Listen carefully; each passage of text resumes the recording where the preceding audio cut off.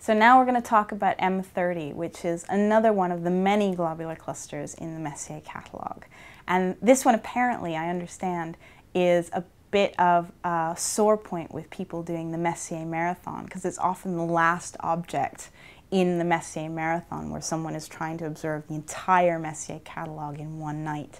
So you miss M30 at the end of your Messier Marathon and the whole night has essentially gone to waste.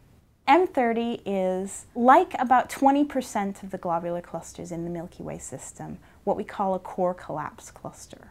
So even William Herschel, observing it back in 1814, noticed and remarked upon the fact that as he looked towards the center of this globular cluster, there just seemed to be more and more and more stars. So while many globular clusters, as you approach the center, their light profile sort of flattens off into a sort of core, this one just keeps going and going and going and going. What we think will happen is that over time, energy is transferred from the center of the globular cluster to the outskirts. So a star may pass by another star, pick up some energy, and be transferred out to the outskirts or even ejected from the globular cluster altogether.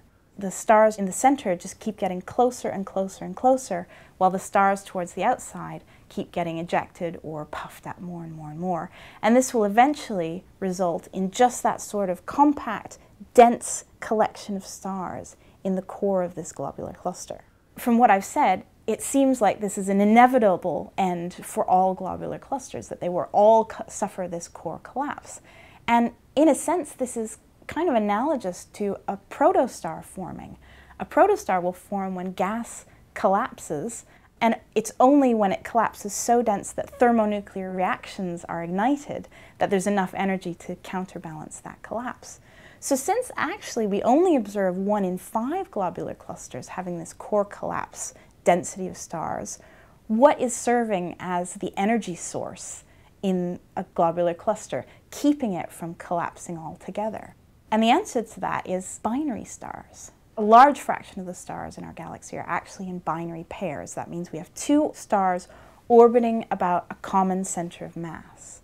Now in a globular cluster, if you have a binary system, inevitably they will interact with other stars. You'll get these very complicated three-star systems formed. But the most likely outcome for that is for the third star to be ejected altogether and gain energy, be flung off. And the resulting binary pair contract a little closer and get more and more tightly bound. And this can happen to many, many different stars. And so one binary getting closer and closer with each stellar billiard game it plays is essentially providing energy to more and more stars in the cluster and actually puffing up and halting that core collapse. If I was writing a story about each globular cluster, and I know there are so many of them, what sets M30 apart from the rest? Anything? Uh, I think it's a pretty boring old cluster. Um, it's pretty in the sense that it's a lovely collection of stars. What sets it apart, not uniquely, but puts it in a class of interesting globular clusters within the Milky Way, is that it displays this core collapse structure with this large concentration of stars towards the middle.